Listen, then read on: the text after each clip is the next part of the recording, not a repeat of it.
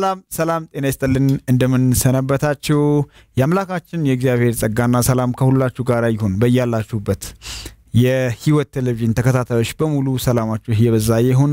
ይህ በቃለ ህይወት ሚዲያ ክፍል የሚመራው የህይወት ቴሌቪዥን ቻናል ነው። በዚህ ፕሮግራም ደግሞ ማህሌተ ህይወት በሚል ስያሜ የሙዚቃና አምልኮን ጉዳዮች እያነሳን እንነጋገራለን። በዝማሬ ዙሪያዎች ላይ ትምህርታዊ ፕሮግራሞችን እናቀርባለን። ባለፉት ጊዜያት የተወሰኑ ፕሮግራሞች እየቀረቡ ነበረ።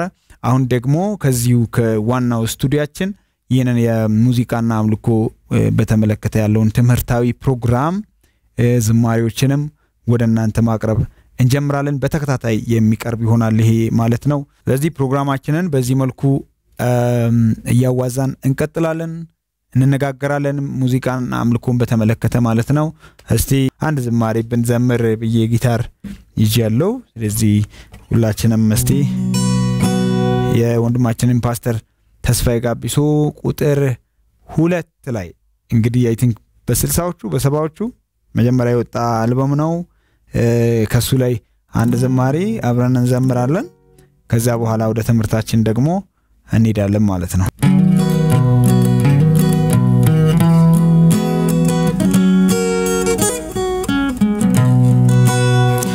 በአምላክ አምሳል ተፈጥሬ በጎ ለማድረግ በፊቱ ስኖር ሳለው ኃጢአቴ አድርጎኝ ነበር ከንቱ ክቡር ሆኜ ሳለው አምላኬን ረስቼ እንደሚጠፉ እንስሶች መሰል። እኔ ሳልፈልገው ጌታ ሊፈልገኝ ከላይ ወርዶ ከርኩሰት ውስጥ ነጥቋ ወጣኝ በዓለም ላይ ተንከራቶ ሸክሜን ወሰደልኝ ለስቃይ ሞተልኝ። የማይቆጠረውን በደሌን ሻረልኝ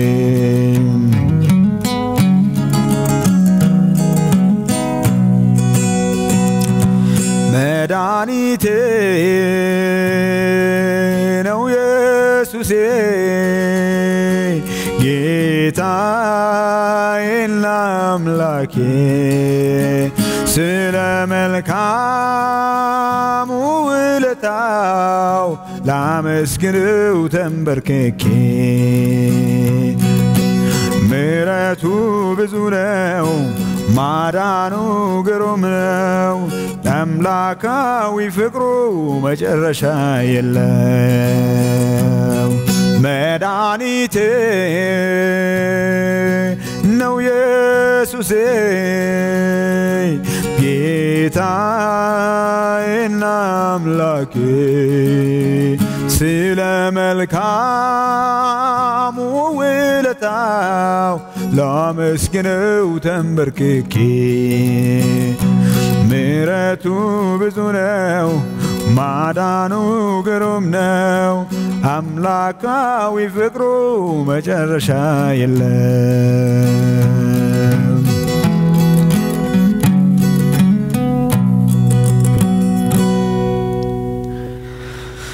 ሃሌሉያ ሃሌሉያ። እነዚህ ዝማሬዎች በጣም የሚገርም ደግሞ ትዝታ ያላቸው ዝማሬዎች ናቸው።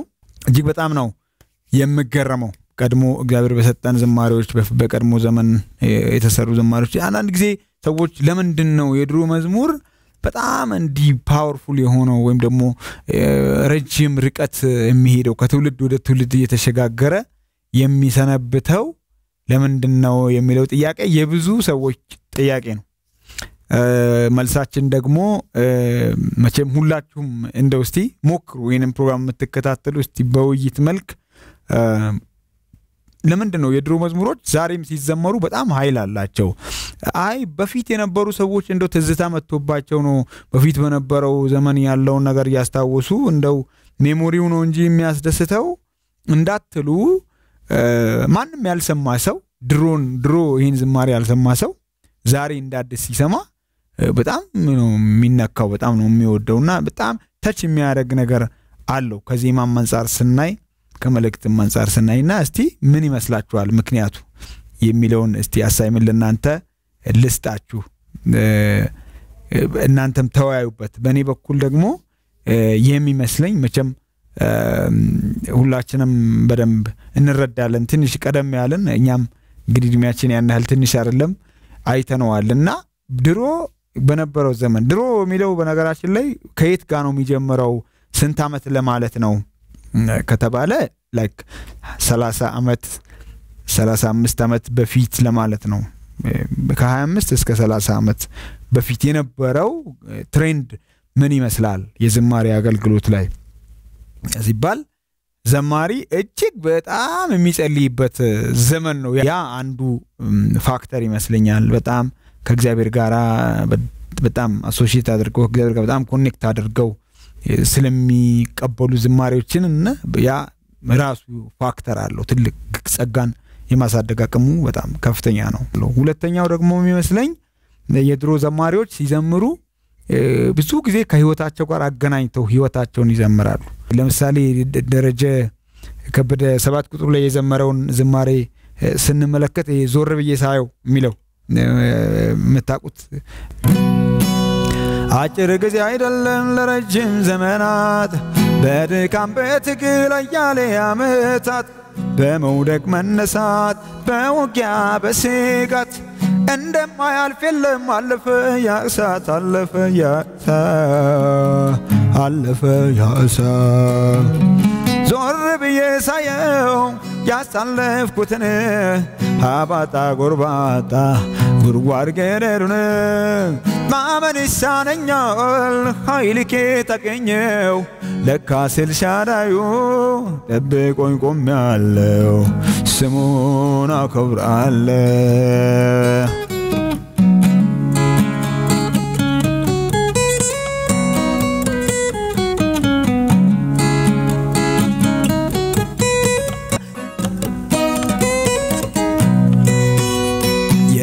የህይወቴ ማብቂያ ዛሬ ነው ያልኩበት። አይኖችን ጨፍኜ ሞትን ያሰብኩበት። ቀውጤው ሰዓት አልፎ ማየቴ ደንቆኛል። ለካ ጌታ ወደው እጅ ጠብቋል፣ እጅ እግሬን ጠብቋል፣ እጅ ጠብቋል እያሉ ሲዘምሩ በጣም የሆነውን በሕይወታቸው የተፈጠረውን ነገር ነው። አንድ ጊዜ ወንድማችን ፓስተር ሸዋዬ ዳምጤም ሲናገር ሰምታችሁ ከሆነ ኑሮ ከጌታ ከኢየሱስ ጋር የሚለውን ዝማሬ ሲቀበል በምን አይነት ሁኔታ ውስጥ እንደነበረ ሲመሰክር በአንድ ቤተ ክርስቲያን ውስጥ በጥበቃ ሰራተኝነት እያገለገለ በጣም በብዙ መከራ እያለፈ በነበረበት ያለ ደሞዝ ማለቴ ነው እና በጣም ተርቦ የሚበላው አቶ ጌታ ሆይ ዛሬ እንኳን በልቼ ማድረውን ዳቦ ስጠኝ ብዬ ስለምነው እግዚአብሔር መዝሙር ሰጠኝ አለ። ይሄ የማይረሳ ነገር ነው እና ኑሮ ከጌታ ከኢየሱስ ጋር በሸለቆ ቢሆን በተራራ አመቺ ነው፣ ደስ ያሰኛል፣ እርካታን ይሰጣል የሚል ዝማሬ በዳቦ ፈንታ የተሰጠው ዘማሪ ነው። ዘማሪ ፓስተር ሸዋዬ ዳምጤ። እግዚአብሔር ስለነዚህ ዘማሪዎችም ስለነዚህ ዝማሬዎችም የተመሰገነ ይሁን። እችን ካልኩኝ ወደ ዛሬ በጣም ወሳኝ ወደ ሆነው ወደምንጀምረው ርዕሳችን እንሄዳለን። ከዛሬ ጀምሮ በተከታታይ ክፍል አንድ ሁለት እያለ የሚቀርበውን የሙዚቃና አምልኮ ጉዳይ ላይ እንደ ርዕስ የሰጠሁት ምንድን ነው? የሙዚቃዊ ስርዓተ አምልኮ በቤተ ክርስቲያን የሚል ነው የሚሆነው ዘማሪዎች የአምልኮ መሪዎች፣ የሙዚቃ ተጫዋቾች እንዲሁም ደግሞ የቤተ ክርስቲያን መሪዎች በጣም እንድትከታተሉ እንድታዳምጡ ይህንን አደራ ማለት እፈልጋለሁ። በተለይ የቤተ ክርስቲያን መሪዎች ብያለሁ። እዚህ ላይ ደግሜ አሳስባቸዋለሁ። በቤተ ክርስቲያን ውስጥ ይሄ አገልግሎት በአግባቡ ስርዓት ተሰጥቶ ስላልተኮተኮተና እንደ እግዚአብሔር ቃል በቃሉ መስፈሪያ በእግዚአብሔር ቃል እንዳለው መስፈርት ስላለመራን ብዙ ችግር እያየን ነው። ችግሮችን እያየን እንዲሁ መንቀፍ እንዲሁ መተቸት አይደለም። የምንተቸው ምን አስተምረን ነው? እስቲ እንመለከታለን። ክፍተታችን ለሁሉ ነገር መነሻ እንዲሆነን ከእግዚአብሔር ቃል ሁለት ክፍል ላንብብ። አንደኛ ሳሙኤል ምዕራፍ 16 ከቁጥር 18 እንደዚህ ይላል፣ ከብላቴኖቹም አንዱ መልሶ እነሆ መልካም አድርጎ በገና የሚመታ የቤተልሔማዊውን የእሴይን ልጅ አይቻለው። እሱም ጽኑ ኃያል ነው፣ በነገርም ብልህ፣ መልኩም ያማረ ነው፣ እግዚአብሔርም ከእርሱ ጋር ነው አለ። እዚህ ቦታ ላይ ባለበገና አምጡልኝ አለ ሳኦል ተጨንቆ። በጣም ባለበገና ፈለገ። እሺ፣ በአንድም በሌላ ምክንያት መንፈስ ያሰቃየው ስለነበረ እንደሆነ ነው ከላይ የሚናገረው። ከዛ ምን አይነት ባለበገና ይምጣ ተብሎ ምን ቀረበ መሰላችሁ? ልክ ለአንድ ሀገር ሚኒስትር እንደሚመረጥ ለአንድ መስሪያ ቤት የሆነ አይነት ባለሙያ ሊመረጥ ለምርጫ የእሱ profile እንደሚቀርብ የዳዊት profile እዚህ ጋር ቀረበ። የቀረበው profile ወይም requirement እንለዋለን። qualify የሚያደርገው ያን ብቁ የሚያደርገው ብቃቱን የሚገልጽ ሁለት ነገር ነው በዋናነት የቀረበው። ሌሎቹም አሉ። የመጀመሪያው መልካም አድርጎ የሚመታ ነው። ዳዊትን እንመርጣለን። እሺ ለምንድን ነው የምትመርጡት? አንደኛ መልካም አድርጎ ነው የሚመታው። ይሄ skill ን ነው የሚያሳየው አይደለ? እንግሊዝኛው cunning in playing can play harp በቃ skillfully ማለት ነው እንጂ ዝም ብሎ እንደው ጤጤጤጥ እያደረገ በአንዳንድ ጊዜ በጣም መሳሪያ ላይ እኔ አሁን ባሳያችሁ ምናልባት እንደው ፈገግ ልትሉ ትችላላችሁ። እያንዳንዱን ክር እንኳን በአግባቡ ጣቶቻችንን እንትን ማድረግ ሳንችል ዝም ብለህ አሁን ለምሳሌ እንደዚህ የሚጫወት ሰው ተመልከቱ።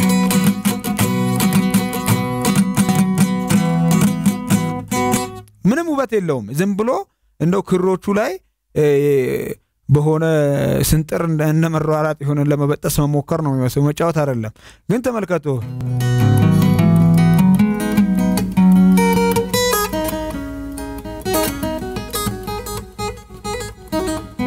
ለማሳየት ያህል ነው እንግዲህ። ይሄ በጣም ምርጥ ነው እንዶ የዓለም አንደኛ ነው ለማለት አይደለም፣ ግን አነጻጽሩ።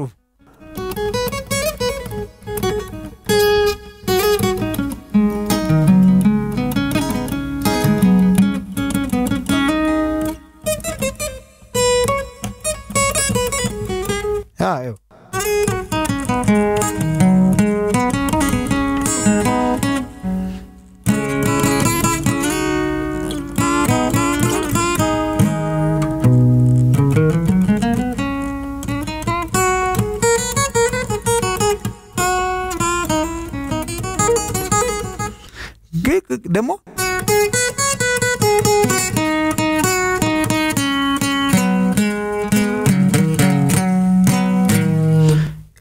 በጣም ሀርድ የሆነና የሆነ መስህብ የሌለው አይነት አጫወት አለ።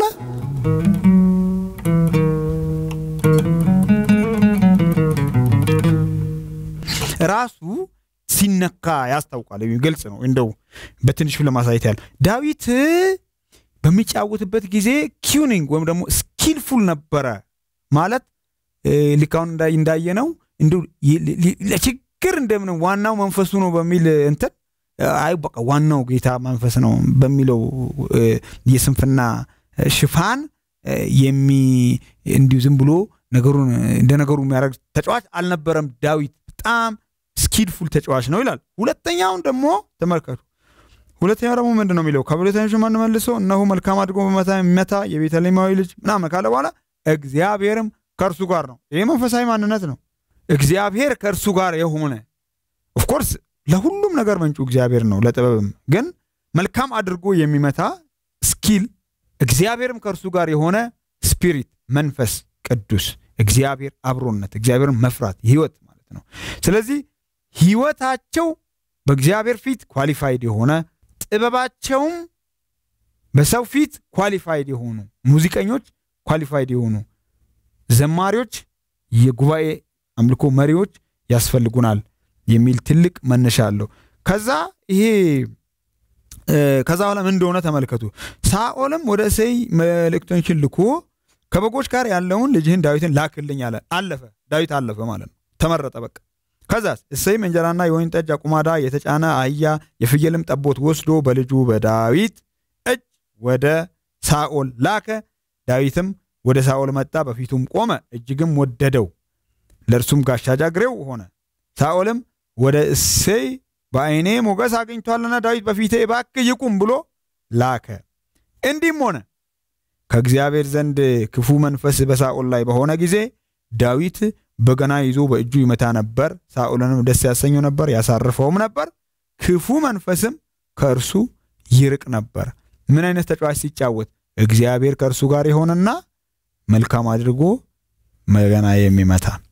እሺ ወደ አንደኛ ዜና 15 22 የሌዋውያኑም አለቃ ክናንያ በዜማ ላይ ተሽሞ ነበር፣ ብልሃተኛ ነበርና ዜማ ያስተምራቸው ነበር ይላል።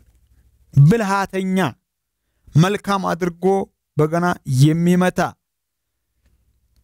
መዝሙር ምዕራፍ 47 ቁጥር 6 ላይ ደግሞ ይላል ዘምሩ ዘምሩ ለንጉሳችሁን ዘምሩ እግዚአብሔር የምድር ሁሉ ንጉሥ ነውና በማስተዋል አሁን ማስተዋል ብልሃተኝነት እንደገናስ ደግሞ መልካም አድርጎ የሚደረድር እግዚአብሔርም ከእርሱ ጋር የሆነ መጽሐፍ ቅዱስ ስለ ዝማሬ አገልጋዮች ይሄ ብቻ አይደለም፣ በጣም ሰፊ ነገር አለ የሚናገረው ማለት ነው። ይህንን ያልኩበት ምክንያት ምንድን ነው? መጽሐፍ ቅዱስ ስለ ስልጠና፣ ስለ ብቃት፣ ስለ ጥበብ ይናገራል። ስልጠና መጽሐፍ ቅዱሳዊ ነው። በሁሉም በምናገለግላቸው ኤሪያዎች ላይ በቂ የሆነ እውቀት መያዝ መጽሐፍ ቅዱሳዊ ነው። እግዚአብሔር ስንፍናን አይወድም፣ ሰነፍንም አያበረታታም። ሰነፍንም እግዚአብሔር አይባርክም። የበረከት መንገድ ያለው ትጋት ውስጥ ነው። of course skill መጽሐፍ ቅዱስ ላይ የተገለጠው ነገር እኮ የሚያሳየን እግዚአብሔር በ skill እንደሚያምን እግዚአብሔር በ excellence እንደሚያምን መልካም በሆነ ዛሬ ይህንን ካልኩኝ እንግዲህ በቤተ ክርስቲያን ውስጥ ያለው የዝማሬ ስርዓት ምን ይመስላል? ስልጠና አለው ወይ? እነ ክናንያ አሉ ወይ? ክናንያ በዜማ ላይ ተሹሞ ነበር። ዜማ ያስተምራቸው ነበር። vocal coach ነበር። የዜማ የ music ጉዳዮች trainer ነበር፣ አሰልጣኝ ነበር። ዛሬ ምን ያህል አለ በቤተ ክርስቲያን ውስጥ? እነ ክናንያ department አላቸው ወይ? እነ ክናንያ አይነት አሰልጣኞች በቤተ ክርስቲያን ውስጥ የተደራጁ አሉ ወይ? ከዛም አልፎ ደግሞ እንደነ ዳዊት አይነት ደግሞ ተጫዋቾች አሉ ወይ? ክፉ መንፈስ የሚያርቁ ሁለተኛ ነገሥት ምዕራፍ 3 16ም ብታነቡ ለሰዓት እኔ አላነበውም እናንተም በሁለተኛ ነገሥት 3 16 ላይ ኤልሳ ባለበገና አምጡልኝ እንዳለ ባለበገናውን በደረደረ ጊዜ የእግዚአብሔር እጅ መጣችበት። ከዚያም ትንቢትን ተናገር አለ። እሱም በዚህ ሸለቆ ውሃ ይሞላል፣ ደመናም አታዩም፣ ነፋስም አታዩም የሚል ትንቢት ተነገር። ባለበገና መጀመሪያ ተፈለገ ይላል እና እኔ ስለ ሙዚቃ አገልግሎት ሳስብ በቤተ ክርስቲያን ውስጥ ያሉትን ክፍተቶች እና መደራጀት ያለበትን ነገር መነጋገር ከመጀመራችን በፊት ራሱ the art of music የሚባለው ነገር the art of ዜማ የሚባለው ጥበብ የት ተጀመረ? ከመቼ ተጀመረ ሲባል ከጊዜና ቦታ ከ time and space በፊት እንደተጀመረ ኢዮብ ምዕራፍ 38 ከቁጥር ስድስትና ሰባት እንደዚህ ይላል። አጥቢያ ኮከቦች በአንድነት ሲዘምሩ የእግዚአብሔርም ልጆች ሁሉ እልል ሲሉ መሠረቶቿ በምን ላይ ተተክለው ነበር? የማዕዘኗንስ ድንጋይ ያቆመ ማን ነው ብሎ እግዚአብሔር በአውሎ ነፋስ ውስጥ ሆኖ ለኢዮብ የመለሰው መልስ ነው። ይሄ እግዚአብሔር ለኢዮብ ሲመልስ ከኢዮብ ጋር ሲሟገት ኢዮብን ሲያስረዳው እነዚህን ነገሮች ለምን ጠቀሰ? አጥቢያ ኮከቦች በአንድነት ሲዘምሩ መዘመር በእኛ በጊዜና በቦታ በዚህ time and space ተብሎ በተገለጠው ዓለም ላይ ወይም ደግሞ በዚህ cosmos time space matter ብለን እኛ በምናየው በምንራመድበትና በምንኖርበት በዚህ time ውስጥ መዘመር ማለት በቃ መቀኘት ነው። ሙዚቃን ነው የሚያመለክተው እና አጥቢያ ኮከቦች በአንድነት ሲዘምሩ መሰረቷን ያቆመ ማን ነው? መሰረቶቿ በምን ላይ ተተክለው ነበር? የማዕዘኗንስ ድንጋይ ያቆመ ማን ነው? የምድርን ማለት ነው። እግዚአብሔር ሰማያትን ምድርን ሲፈጥር ሲፈጥር አጥቢያ ኮከቦች ሲዘምሩ ይላል። before time there was music music በእግዚአብሔር ዘንድ እግዚአብሔር መቼ ኖረ ብለን ብንጠይቅ አእምሯችን ታሞ ነው የምናቆመው አይደለ? ማለት መቼ ከመቼ ጀምሮ ነበረ? ሰማይና ምድርን ሲፈጥር እግዚአብሔር መነሻ አለው። በመጀመሪያ ፈጠረ ሲል መጀመሪያ የሚባል የሆነ ጊዜ ነበረ። እሺ ከመጀመሪያ በፊት ምን ነበረ? ከመጀመሪያ በፊት ምን ነበረ ሲባል ይከብዳል። ከዛ በኋላ እግዚአብሔር ከመቼ ጀምሮ ነበረ ሲባል እግዚአብሔር መቼ የሚለው ቃል አይመዝነውም። ለምን? እሱ ከመቼ በፊት ነው። እሱ ከመቼ ውጭ ነው። የእግዚአብሔር ጅማሬ የለውም። እግዚአብሔር ፍጻሜም የለውም። ጅማሬና ፍጻሜ የሌለው ነገር የሚለውን ነገር ማሰብ ራሱ እጅግ ከባድ ነው ለአእምሯችን። ግን እንደዚህ ብለን እናምናለን። እግዚአብሔር መጀመሪያ የለውም። እግዚአብሔር መጨረሻ የለውም። በዚህ ዓለም ላይ የተፈጠሩ ነገሮች ሁሉ መጀመሪያ ያላቸው መጨረሻም አላቸው። ዓለምም መጨረሻው ይታወቃል። እግዚአብሔር ግን መጀመሪያ የለውም፣ መጨረሻ የለውም። በዚያ መጨረሻ ምንድን ነው? መጀመሪያ ባልነበረበት ዘመን መጀመሪያ የሚባለው ነገር በፊት ዜማ ነበረ። እሺ አሁን ደግሞ አለን በምንለው በዚህ በጊዜና በቦታ በተወሰነው በዚህ የ time and space ዘመን ላይ ደግሞ የዘላለም አካል በሆነው በዚሁ ዘመን ላይ ሙዚቃ ዜማ አለ። አንዳንዴ ይገርመኛል። እቺ ምድር እንኳን ያለ ሙዚቃ ማሰብ ፕላኔቷ ሙዚቃ የሚባል ነገር ባይኖር መዝሙር ብቻ እያልኳቸው አይደለም።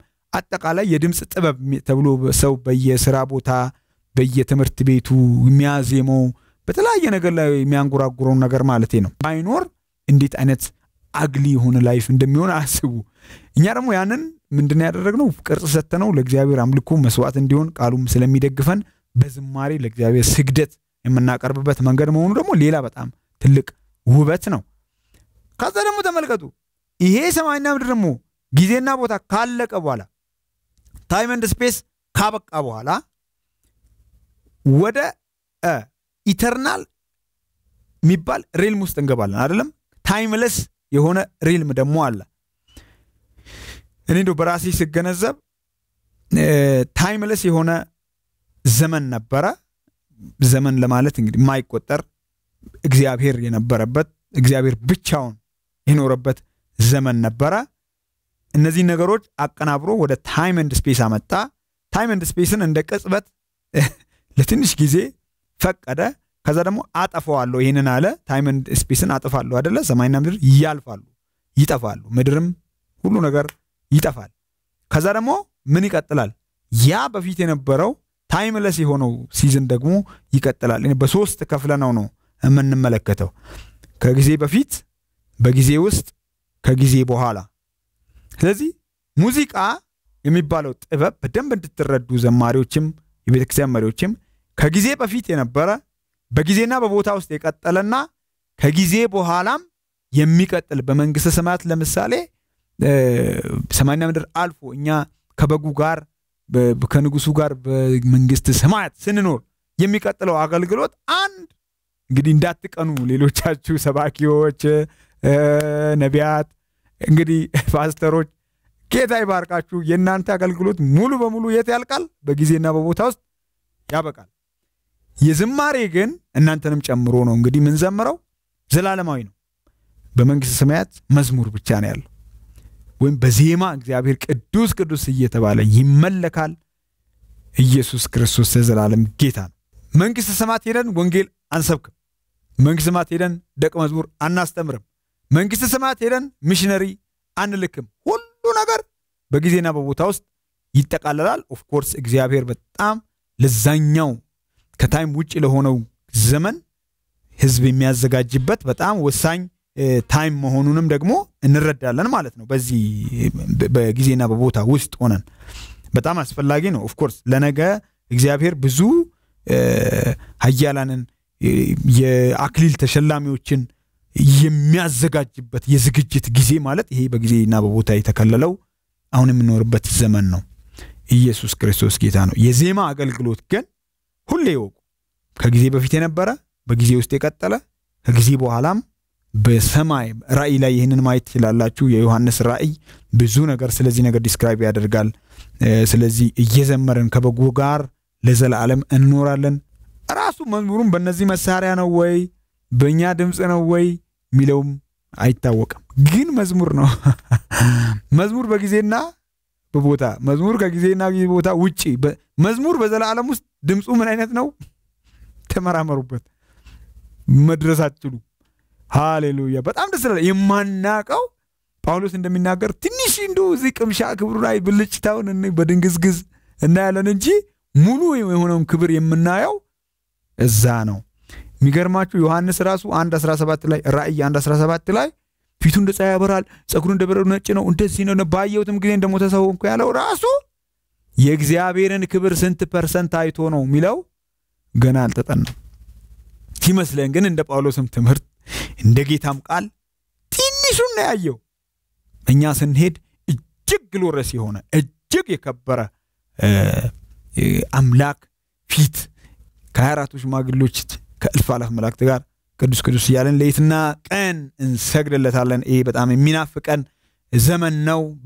በምድር ስንኖር ክርስቲያኖች ይህንን ተስፋ እያደረግን ታላቁ ተስፋችን አድርገን ይህንን ካልኖርን ትልቅ ትልቅ ትልቅ ስህተት ነው የሚሆነው። አሁንም ያሉትን አስተምሮች ስህተቶች ስናይ አንዱ የስህተት አቅጣጫ ሰማይን የማያሳይ ትምህርት ነው። ሁሌ ነገ እይታ ይመጣል፣ ለዘላለም እንኖራለን የሚለውን የዘላለም ሕይወት የማያሳይ ነገር ግን ሁሌ እንተ ጌታን ስትቀበል ትበለጽጋለህ፣ ትሻሻላለህ፣ ኑሮን ታሻሽላለህ፣ ያልፍልሃል የሚለውን ብቻ ላይ ያተኮረ ወንጌል ነው እየመጣ ስህተት የምንልበት ሐሰት ነው የምንልበት ምክንያት ይሄ ነው። ዘላለምን የማያሳይ ነገን የማያሳይ እንደውም መጽሐፍ ቅዱስ የሚናገረው ብትገፉ አይዟችሁ ነው፣ ብታጡ ብትደህዩ አይዟችሁ ነገ ተስፋ አላችሁ ነው እንጂ የሚለው no no no no no once you are Christian አንተ ክርስቲያን ከሆንክ ይሄ ድህነት ከሰይጣን ነው ኃጢአት ነው ከድህነት ንስሐ ግባ ሁሉ ተብሎ እየተሰበከ ነው እየሰማን ያለ በንስሐ ድህነት እንደ መጽሐፍ ቅዱስ ይህንን አያስተምረንም። በልጁ በኢየሱስ ክርስቶስ ያገኘነው ዘላለማዊ ሕይወት ሁሌ የሚሰበክ ሁሌ የሚደሰኮር ሁሌ የምናውጀው ላይፍ ነው። ምንም ሊቀልብን ሊረክስብን የሚገባ አይደለም።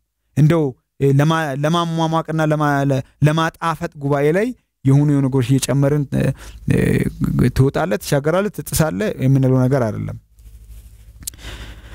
በነገራችን ላይ አንዳንዴ እንደው ዝም ብሎ ድርቅ እንዳይልባችሁ አንዳንዴ ትንሽ ፈገግ ማለት ያስፈልጋልና አንድ ጉባኤ ላይ ትጥሳለህ ትጥሳለህ ሲባል የተቀለደ ቀልድ መሰለኝ። አሜን አሜን ብሎ ወጣ አሉ። ወጥቶ ለካ የትራፊክ ቀይ መብራት በርቶ ጥሶ ሄደ እና ላይ ጥሰሃል፣ እንዴት እንዲህ ታደርጋለህ ሲባል ትጥሳላችሁ የመጣሰ መታችን ነው ተብለን ነው እና የሚጣሰው ነገር ምን እንደሆነ አይታወቅም። አንዳንድ የ traffic light ይሆን የሚጣሰው፣ ግድግዳ ይሆን የሚጣሰው፣ አጥር ይሆን የሚጣሰው፣ አንዳንድ ጊዜ ግልጽ አይደለም። ብቻ ትጥሳለህ ሲባል ሰው አሜን ይላል እና እንደዚህ አይነት አስተማሪም ነው እንግዲህ እግዚአብሔር ስሙ ይባረክ። ሁለተኛው ጉዳይ እዚህ ላይ የማነሳው የቤተ ክርስቲያን የሙዚቃ አገልግሎት ዘርፎች እነማን ናቸው? በዚህ እንጨርሳለን።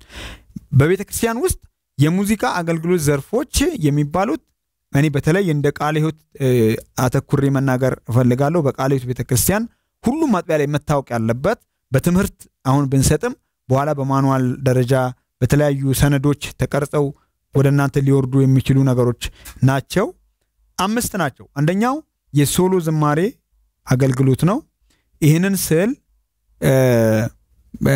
ለብቻቸው የሚዘምሩ single ማለት ነው። solo ማለት ይህንን አብራራለሁ። ሁለተኛው የ choir ዝማሬ አገልግሎት ነው። የህብረት ዝማሬ ማለት ነው። ሰዎች በህብረት ቆሞ የሚያገለግሉት የ choir የምንለው። ሶስተኛው የሙዚቃ መሳሪያ ተጫዋቾች አገልግሎት ነው። መሳሪያ ጊታር፣ synthesizer፣ የተለያዩ ሙዚቃ መሳሪያዎች የሚጫወተው ሶስት department ተገኘ። አራተኛው ከጥቂት ዓመታት ወዲህ የተለመደ ቢሆንም አስፈላጊ ነው፣ መሰራት አለበት፣ ስልጠናዎች መሰጠት አለባቸው ብዬ የማምንበት ደግሞ አራተኛው department የጉባኤ ዝማሬና አምልኮ መሪዎች አገልግሎት ነው። የጉባኤ ዝማሬ አምልኮ መሪዎች ማለት ነው። የጉባኤ ዝማሬ ሲባል ያው ስንሰበሰብ ጉባኤው መዘመር ስላለበት ያንን የሚመሩትን ለማለት ነው። አምስተኛው የድምፅ ማጉያ ባለሙያዎች ናቸው። ስለዚህ አምስት wing ኦች አሉ በቤተ ክርስቲያን ውስጥ five major pillars ማለት እንችላለን። በቃ እነዚህ ላይ ነው መስራት ያለብን። solo፣ choir፣ ሙዚቃ መሳሪያ፣ የጉባኤ አምልኮ መሪዎችና የ sound system technician ኦች ማለት ነው። ዛሬ solo ዘማሪዎችን ከተመለከትን በሚቀጥለው choir እያልን ምንድን ነው መሆን ያለበት? ምን አይነት ስልጠና ነው መውሰድ ያለባቸው? solo ዝማሬ ራሱ definition ኑ እንዴት ነው መሆን ያለበት የሚለውን ነገር እንመለከታለን። በነገራችን ላይ ሶሎ ማለት ከቃሉ ስንነሳ solo ማለት single ማለት ነው በላቲን ሌላ ነገር የለውም። single ማለት ነጠላ ማለት ነው። ብቻውን አንድ ሰው solo ይባላል። ለምሳሌ ጸጋ ብቻ፣ sola gratia፣ sola ማለት ብቻ ማለት ነው። ለብቻ ማለት ደግሞ አንድ ሌላ ነገር ተጨማሪ የሌለው ለማለት ነው እና sola scriptura ለምሳሌ sola scriptura ማለት ቃሉ ብቻ ለማለት ነው። አምስቱ ብቻዎች ታውቃላችሁ። የፕሮቴስታንት እምነት መነሻ የሆነው የማርቲን ሉተር ተቃውሞ አምስቱን ነገሮች በኋላ ላይ organize አድርገው አምስቱ ብቻዎች ተብሎ ይታወቃሉ እና solo ማለት ከዛ ቃል ጋርም አንድ አይነት ከዛ የወጣ ነገር ነው የሚሆነው እና single ዘማሪ ማለት ነው እንጂ መዝሙር ደራሲ ለማለት አይደለም። አሁን ብዙ ጊዜ እኛ ሀገር በደንብ ያልጠራ እውቀት አለ። solo ዘማሪ ስንል የራሱን መዝሙር የሚዘምር ብቻ ነው solo ዘማሪ የምንለው። ከዛ አምልኮ መሪ እንልና ብቻውን የሰው መዝሙር ከዘመረ solo ዘማሪ አንለውም። ግን ይሄ ሙያዊ አጠራር አይደለም። ሙያዊ አጠራር ምንድን ነው? solo ማለት ብቻውን የዘመረ የማንንም መዝሙር ሊሆን ይችላል። ብቻውን የዘመረ solo ዘማሪ ነው የሚባለው። ግን ታዲያ ሙያዊ መጠሪያው የራሱን ዝማሬ የሚዘምረው ማን ነው ሲባል በውጭ ሀገር songwriter ነው የሚባለው። የመዝሙር ደራሲ ይባላል። lyricist የሚባል አለ። ለምሳሌ የመዝሙር ግጥም ብቻ የሚጽፉ ሰዎች አሉ፣ lyricist ይባላሉ። ዜማ ደራሲዎች አሉ፣ ዜማ ብቻ የሚደርሱ ደግሞ ማለት ነው። እነሱ ደግሞ just የ melody composers ብቻ ነው የሚባሉት እና ግን እኛ ሀገር እግዚአብሔር ረድቶን ሶስቱንም በአንድ ሰው አይተናል። በተለያዩ ዘማሪዎች ለምሳሌ ግጥም ማንም ሳይጽፍላቸው ራሳቸው የመዝሙር ግጥም ተቀብለው ከጌታ ጽፈው ከጌታ ተቀብለው ያን አስተካክለው ወደ ፈጥረው ሳይሆን ከጌታ ተቀብለው ያንን organize አድርገው ማለት ነው ግጥም ጽፈው፣ ሁለተኛ ነገር ደግሞ ዜማ ተቀብለው ራሳቸው ዜማ ደርሰው፣ ሶስተኛ ደግሞ ራሳቸው ዘምረው። አሁን ሶስቱም የተለያየ ስራ ነው፣ ራሱን የቻለ ዘርፍ ነው። ተመልከቱ። ግጥም የሚጽፍ ሰው አለ። ግጥም በጣም አደላ ግጥም ዝም ብሎ መቼም እንደዚህ እንደዚህ ተብሎ በቃላት ዝም ብሎ የሚመጣ ነገር አይደለም። ተስጦ ይጠይቃል። ግጥም ጥሩ ቃላት መርጦ ቅኔ አደራጅቶ ቅኔ መዝረፍ ነው የሚባለው። ተዘርፎ በስነ ስርዓት ግጥም ጽሁፍ ራሱን የቻለ ብቃት፣ ራሱን የቻለ ታለንት፣ ጸጋ ነው እና ሁለተኛው ደግሞ ዜማ ዜማ መድረስ ለሁሉም ሰው የሚሆን አይደለም። ሊሞክር ይችላል ማንም ሰው ሰው ለራሱ ዜማ መስራት ይችላል። ለሰው የሚሆን ዜማ ለመስራት ግን ትልቅ ብቃት ትልቅ ተሰጦ ይጠይቃል። ተሰጦም ብቻ ሳይሆን ለእግዚአብሔር ቤት አገልግሎት ሲሆን ደግሞ ጸጋ ያስፈልጋል። ጸጋና ተሰጦ የተለያየ ስለሆነ ማለት ነው። ተሰጦ biological የሆነ የራሱ በዘር የሚኖር ሰው ቅንብር ነው። እሱም ከጌታ ነው of course። ጸጋ ግን ለአገልግሎት የሚሰጠን በመጽሐፍ ቅዱስ ላይ እንማራለን ወደፊት ጸጋና talent ልዩነቱ ምንድን ነው የሚለውም ማለት ነው። ሶስተኛ ደግሞ ቆንጆ ድምፅ ስንዘምር የሚያምር ድምፅ ራሱ talent ነው፣ ራሱን የቻለ ጸጋ ነው።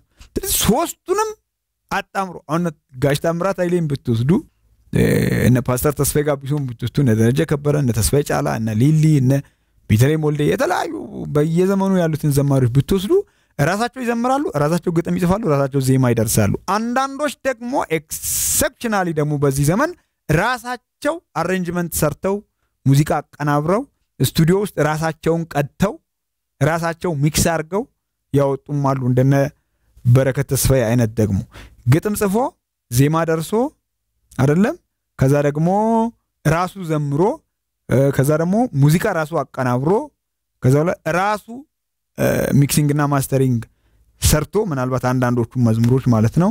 በእርግጥ ሌሎችንም አሳትፏል። ግን አንዳንዶቹ መዝሙሮች ራሱ እንደሰራ እናውቃለን። ለምሳሌ ሰው ያልቻለውን የሚችለው የሚለው አሁን እሱ ላይ ራሱ እንደሰራ አውቃለሁኝ እና ሙሉ arrangement ኡን ራሱን የሰራው መዝሙሩም ራሱ ነው፣ ግጥሙም ራሱ። እንዲህ አይነት ደግሞ በጣም extraordinary የሆኑ ደግሞ talent ኦች አሉ። በተለያየ ሰው አንድ ዜማ መሰራቱ የራሱ advantage ቢኖረውም ማለት ነው። ተመልከቱ እንግዲህ ይህንን ይሄ ሁሉ ነገር አለ በሙዚቃ ውስጥ። እኛ ሀገር ትንሽ አጥብበነው ነው የምናየው። ዘማሪ ስንል ይሄ ሁሉ የታጨቀበትን ሰው አንድ በቃ ነገር ነው የምንሰጠው። ታምራት ኃይሌ ምንድን ነው ብለን ብንወስድ አሁን ታምራት ኃይሌ songwriter ነው፣ singer ነው፣ lyricist ነው። ተመልከቱ፣ ሶስት ብቃት እንትን ብሏል። ዜማ ይጽፋል። lyricist ማለት የመዝሙር ግጥም ጸሐፊ ማለት ነው። ደረጀ ከበደ ምንድን ነው? my God በጣም accomplished የሆነ accomplished የሚባለው በሙዚቃ ቋንቋ በጣም በቃ extra የሆነ ብቃት ሲኖረው ነው አንድ ሰው accomplished ባለ ቅኔ ነው። accomplished for me ያናውጣል። የደረጀ ከበደ ቅኔ አጻጻፍ፣ ግጥም አጻጻፉ በጣም የሚገርም ነው። ዜማ የሚደርሰው ዜማ ራሱ ቅኔ ነው።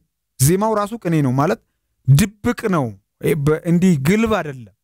እንዲህ በቀላሉ ብለን የምደርሰው ነገር አይደለም። ዘምረን በጣም የምንገረምበትን የዜማ ድርሰት ይሰራል ወንድማችን ደረጀ ከበደ። እንደዛ አድርጎ ለሰው አይሰጥም። ሌላ ሰው ሰው የሚዘምረው ራሱ perform ያደርገዋል። ራሱ perform ያደርጋል፣ ይዘምራል፣ መሳሪያ ይጫወታል። ተመልከቱ። ስለዚህ musician ነው፣ lyricist ነው፣ songwriter ነው፣ performer ነው። ተመልከቱ ይህን እና እግዚአብሔር የሰጠን ይህንን ሁሉ ዝርዝር ነገር ነው በሙዚቃ ውስጥ። በእኛ ሀገር በተለምዶ solo ዘማሪ ብለን በአንድ ድምፅ ነው የምናስቀምጠው። ውጭ ስትሄዱ አንድን ሰው ይህን ይህን ከሰራ profile ኡ በጣም በዝርዝር ነው የሚሰራው እና በዘፈን ዓለም ላይ ስትመለከቱ አሁን ምንም የራሳቸው ዘፈን የሌላቸው ከሰው ግጥምም እየገዙ ዜማም እየገዙ ባላቸው ጥሩ ድምፅ የሚዘፍኑ ዘፋኞች የተለመደ ነው። church ስንመጣ ግን እንደሱ አይደለም። ዘማሪ ከሆንክ ራስ መዘመር አለብህ፣ ግጥም መጻፍ አለብህ፣ ዜማ መጻፍ አለብህ። ግን ያ ጽንፍ መሄድ የለበትም። አንዳንድ ዘማሪዎች choir ውስጥ ስትመለከቱ አሁን የጌጃ choir፣ የወላይታ ሶዶ የከተማ አቀፍ choir፣ የሐዋሳ ህይወት ብርሃን choir፣ የጅማ ህይወት ብርሃን choir፣ የሐረር መሰረተ ክርስቶስ choir እያላችሁ choir ኦችን ውሰዱ። የልደታ መካነ ኢየሱስ choir መዝሙር የሚጽፉት በፍጹም ዘማሪ ያልሆኑ ሰዎች ናቸው። የሚገርም ዜማ ደርሰው የሚገርም ግጥም ገጥመው ግን ግን ለኳይር ይሰጣሉ። ኳይሩ ይዘምራል። አሁን የጭኔ ሾለዳ ተነክቷ ነክሳለሁ ሲነጋ ሲያቅላላ አምላክ ታገያለሁ ሰውነቴ ድኖ ቀረ። ይህን ማን ተጻፈ? አሁን እርግጠኛ አለሁም፣ ግን የጌጃ ኳየር መዝሙር ነው የሚባለው። ሰንበዲን የጻፈው ቶች አሉ። ያ ሰው ዘማሪ ላይሆን ይችላል ወይም መድረክ ላይ perform ላያደርግ ይችላል። ስለዚህ እንዲህ አይነት አገልግሎቶች አሉ። መዝሙር ስለ ጻፍኩ የግድ እኔ መዘመር አለብኝ ብላችሁ አታስቡ ነው። solo ዝማሬ ማለት የሌላ ሰውም ሆነ የራስን ዝማሬ ለብቻ መዘመር እንጂ የግድ የመዝሙር ደራሲ ማለት አይደለም። አሁን ቤተ ክርስቲያን ውስጥ በጣም እናጨናንቃቸዋለን። ጥሩ የጉባኤ አምልኮ መሪዎችን የራስ ዝማሬ ለምን አትጽፍም? ዝም ብለህ የሰውን ምዘምረው እንለዋለን። የራሱን ዝማሬ የመጽሐፍ ጸጋ ከሌለውስ የግድ ብለው የጻፉ አሉ። በሰው ምክር ምንም አልሰማንም። ካሴታቸውን ተመልከቱ። ብዙዎችን መጥቀስ እንችላለን። አምልኮ መሪ ላይ በጣም ቁንጮ አድርገው የጉባኤ ዝማሬ መሪዎች ማለት ነው በደንብ አድርገው ይመራሉ። የሌሎችን ሰዎች መዝሙር ሲዘምሩ እንዴት እንዴት እንደሚያሳምር ድምፃቸው በጣም የሚገርም አድርገው ይዘምራሉ። ከዛ የራሳችሁን ስሩ ሲባሉ ይዘው የሚመጡት ዜማ መሬት ይልሳል። በቃ በፍጹም convince አያረግም፣ ልብ አይደርስም። ምንድን ነው ጉዳዩ ሲባል የተሰጦ የስጦታ ልዩነት ነው። እዚህ አንዳንድ ሰዎች ለመዘመር perform ለማድረግ ቆንጆ ድምፅና የሙዚቃ ክህሎት የተሰጣቸው ናቸው። የራሳቸው መዝሙር መስራት የለባቸውም አይደለም የምለው፣ እግዚአብሔር እንዲሰጣቸው ይጸልዩ። ግን የግድ በግዴታ በትግል በቁፋሮ አይሆንማ። እንዴት ይሆናል? ይጸልዩ፣ በእግዚአብሔር ፊት ይውደቁ፣ እግዚአብሔር ይስጣቸው። በጣም እንደነዚህ እነዚህ ዘማሪዎች አይታችሁ ከሆነ አንዳንድ ጊዜ በቃ የራሳቸውን መዘመር ራሱ አይወዱም። የራሳቸውን ዝማሬ መዘመር ቢኖራቸውም ራሱ አይወዱም። ለምን? convince አያደርግም። ጉባኤው ላይ ምንም impact አያመጣም እና ቶሎ ብለው ወደ ሌሎች ዝማሬዎች ይሄዳሉ። even ወደ ራሳቸው ዝማሬ ራሱ ሲገቡ አይታችሁ ከሆነ ይጀምሩትና በእነሱ ዝማሬ ወዲያው መቀጣጠል ይጀምራሉ። ወደ ተለያዩ ዘማሪዎች ይሄዱና የእነሱ totally ይረሳል። ከዛ ወይ በዳንኤል አምደ ሚካኤል ወይ በሊሊ ወይ በቤቲ መዝሙር ይጨርሳሉ።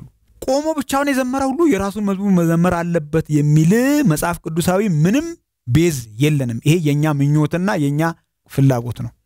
መጽሐፍ ቅዱስ እንደውም ዳዊት በዘመኑ በጣም የሚገርም ደራሲ ነው። እነ ዮሳፍጥ ደግሞ የዳዊትን መዝሙር ይዘምሩ ነበረ። እነ ኤማን፣ እነ ኤታን፣ እነ አሳፍ የዳዊትን መዝሙር ይዘምሩ ነበር። ዳዊት የደረሰውን እነሱ ይዘምራሉ። ምንም ኃጢአትነት የለውም። አንዳንድ በጣም ክርር አድርጋችሁ እንደ ኃጢአት የምታዩ ሰዎች አሉ። ሰው ብቻውን ቆሞ የሌላ ሰው መዝሙር መዘመር ይችላል፣ ችግር የለውም። ግን አሳትሞ መሸጥ አይችልም። እሱ ነው ችግሩ።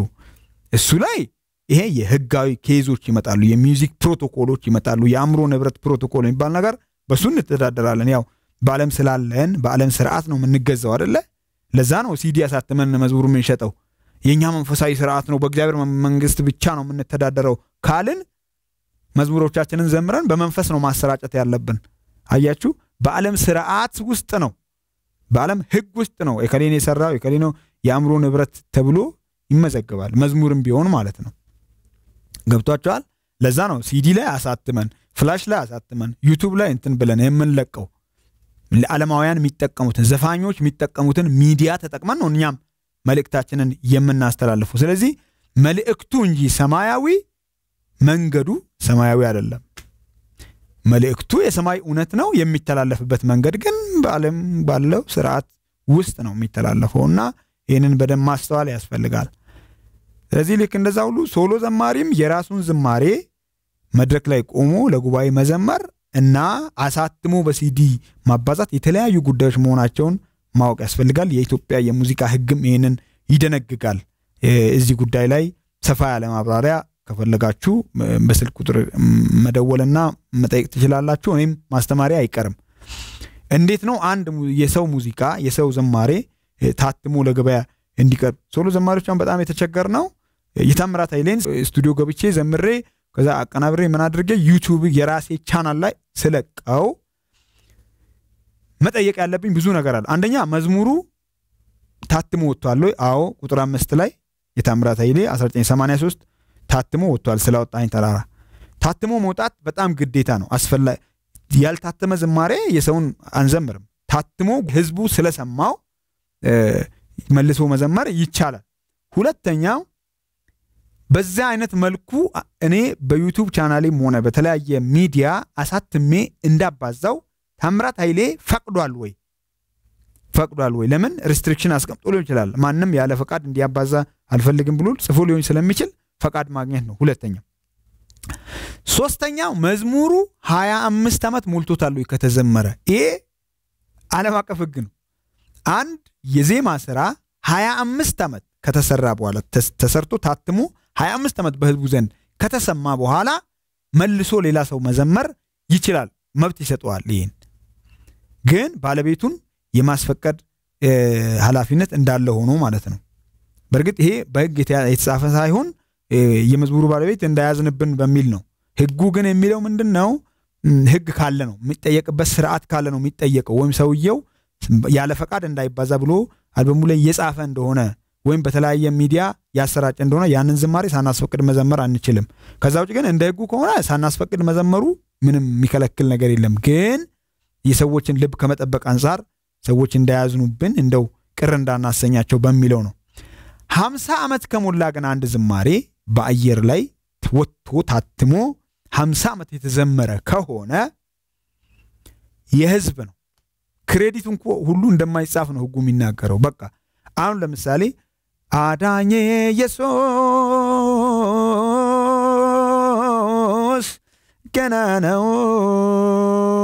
አሁን ይሄንን ሀምሳ ዓመት ሞልቶት ከሆነ መዝሙሩ የህዝብ ነው የደረጀ ከበደ አይደለም ነው የሚለው ህጉ። ስለዚህ ማንም ተነስቶ መዘመር ማሳተም ይችላል። እነዚህ restriction ኦች በኢትዮጵያ የሙዚቃ ህግ ላይ የተቀመጡ ናቸው። በዓለም አቀፍም ህግ ላይ ተመሳሳይ የሆኑ ነገሮች አሉ። ስለዚህ solo ዘማሪ ማለት የራሱንም ሆነ የሌላ ሰውን ለብቻው የሚዘምር ሲሆን ግን አቀናብሮ የሌላን ሰው መዝሙር በሚዲያ ለመልቀቅ በሲዲ ለማባዛት እነዚህን ፕሮቶኮሎች ማሟላት አለ። አንደኛ መዝሙሩ 25 ዓመት መሙላቱን check ማድረግ። ዛሬ ዛሬ እንደምናየው ከተዘመረ ሶስት ዓመት ያልሞላ መዝሙር earphone አድርገን ስቱዲዮ ገብተን ቀርጸን ዩቱብ ላይ እንለቃለን። በጣም በጣም ሊደረግ የማይገባ ነገር ነው። አንዳንድ ዘማሪዎች ደግሞ credit ም አይሰጡም። የ somebody መዝሙር ይዘምራሉ፣ የእከሌ ነው እንኳን አይሉ። ይሄ በጣም ነውር ነው። ይህንን መልመድ የለባችሁም ዘማሪዎች። እንግዲህ ሁለተኛ ወደ ኳየር አገልግሎት እንሄዳለን። ለዛሬ ግን ካለን ሰዓት አንጻር እዚህ ጋር ለመቋጨት እንገደዳለን። እግዚአብሔር ዘመናችሁን ይባርክ። መኃልየ ሕይወት የእናንተ ነው። በሕይወት ቴሌቪዥን ዘወትር እሁድ ዘጠኝ ሰዓት ተኩል ላይ ታገኙናላችሁ። ለማንኛውም ጥያቄና አስተያየት ከስር ባለው ስልክ መደወል ትችላላችሁ። ጥያቄዎች ካሏችሁ ማለት ነው። በተለይ በክፍለ ሀገራት ያላችሁ ብዙ ትምህርቶችን እንከታተላለን። እግዚአብሔር ዘመናችሁን ይባርክ። የዛሬውን ፕሮግራም እዚህ ላይ እናበቃለን። ዋና አዘጋጅ ረታ ጳውሎስ ነበርኩኝ። አመሰግናለሁ።